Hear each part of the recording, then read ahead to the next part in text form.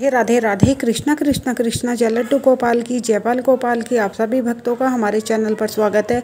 Friends, आज की video में आप जानेंगे सावन के सोमवार का उद्यापन कैसे करेंगे। तो फ्रेंड्स, क्या दान करें? क्योंकि सावन मास है, बहुत पवित्र पावन महीना है और इस महीने में दान पुण्य का भी विशेष महत्व होता है।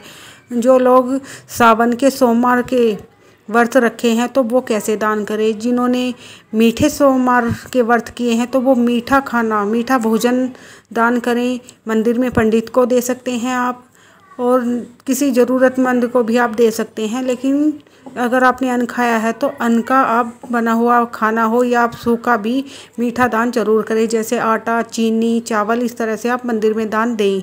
और जिन्होंने फलहार करके व्रत रखा है तो वो जैसे फल या कुट्टू का बना हुआ खाना मंदिर में दान करें या किसी भी ज़रूरतमंद को दान ज़रूर करें।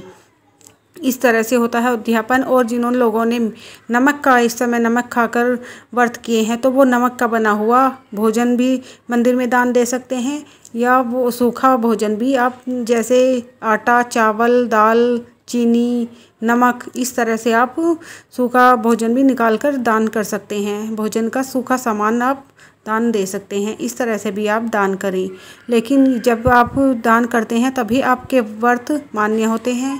और कल लास्ट सोमवार है सावन मास का तो जिन्होंने, जिनका व्रत पहले छूट गया हो, न, किसी कारण नहीं रह पाए हैं कोई एक व्रत तो वो कल ज़रूर व्रत करें और उद्यापन करके भी अपना व्रत पूरा करना है। शाम को एक समय भोजन करना है। सावन मास में भगवान शिव की तीन बार पूजा की जाती है, सुबह, दोपहर, शाम।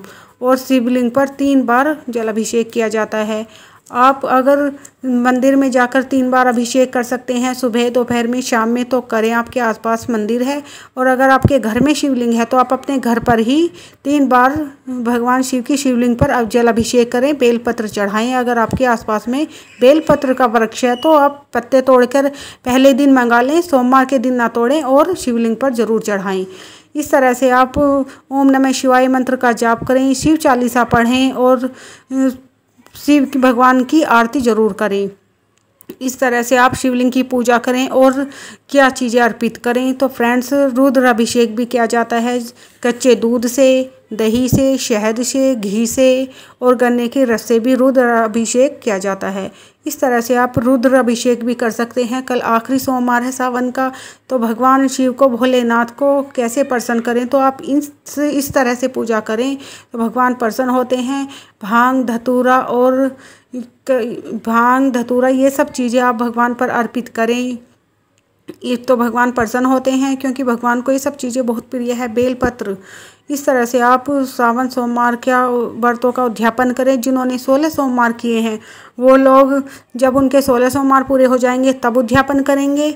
और जिन्होंने पूरे सावन के व्रत किए हैं नियम से तो वो पूर्णिमा को वो तो अपना उद्यापन करेंगे, यानी 22 अगस्त को वो अपना उद्यापन पूरा करेंगे महीने का। और जिन्होंने चार सोमवार किए हैं, इस बार चार सोमवार पड़े हैं सावन मास में तो आप इन का लास्ट सोमवार है, आखिरी सोमवार है सावन का तो आप चारों सोमवार का उद्यापन कल करें और जिस तरह से आपने जो भी मीठे व्रत किए हैं, नमक के किए हैं, फलहार किए हैं, वैसे ही आपको दान करना है। और दक्षिणा रख कर आप दान करते हैं, वही दान लगता है। तो आप मंदिर में दे सकते हैं, किसी ज़रूरतमंद को दे सकते हैं। अपने सामर्थ्य अनुसार आप दान पुण्य ज़रूर करें, क्योंकि सावन मास में दान पुण्य करने का भी विशेष महत्व होता है। और प्रभु महादेव को प्रसन्न करें, अपनी समस्त मनोकामनाओं को पूरा करें और भगवान का आशीर्वाद प्राप्त माँ पार्वती को श्रृंगार का सामान ज़रूर अर्पित करें। लास्ट सोमवार है, सावन मास का आखिरी सोमवार है तो सावन के चारों व्रतों का उद्यापन होगा कल। आपने जिस तरह से व्रत रखा है, मीठा, नमकीन या फलहार का, वही सभी चीज़ें आपको दान करनी है। और भगवान शिव का अच्छे से, कल बहुत ही अच्छे से भगवान शिव और माँ पार्वती का पूजन करना है। शिवलिंग पर बड़े मन और भाव से जो चीज़ें वीडियो में बताई हैं, अर्पित करें।